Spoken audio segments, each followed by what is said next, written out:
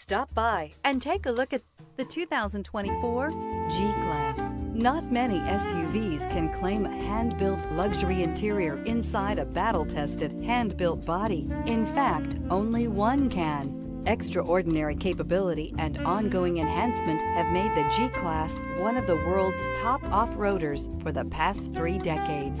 This vehicle has less than 100 miles. Here are some of this vehicle's great options. Rain sensing wipers, heated mirrors, alloy wheels, brake assist, remote keyless entry, four-wheel disc brakes, speed control, power moonroof, front wheel independent suspension, integrated turn signal mirrors. A vehicle like this doesn't come along every day.